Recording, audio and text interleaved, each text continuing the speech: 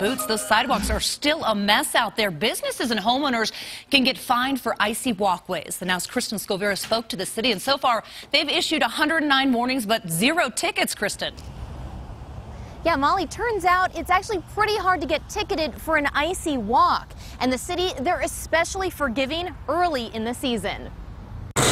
The sun is out, the snow is melting, but just walking around Denver can still be downright dangerous. Really slushy and it's uh, really slippery. Just coming to my appointment here, I probably almost tripped half a dozen times between that parking lot and the store.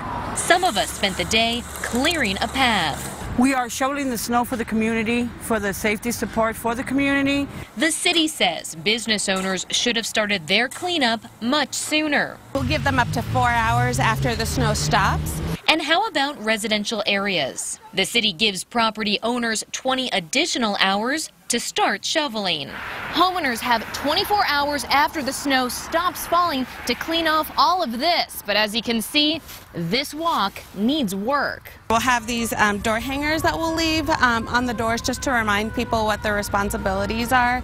Just this month, more than 100 warnings have been issued. Still, city officials say it takes several warnings before you'll face fines. So zero fines so far, but as I mentioned, these fines can happen and they are pricey, $150. So if you want to tell on your neighbor, you can call 311 for an unshoveled walk. Otherwise, you can just wait for the sunshine to get it. Live in Denver, Kristen Skovira, Denver 7. Kristen, thank you.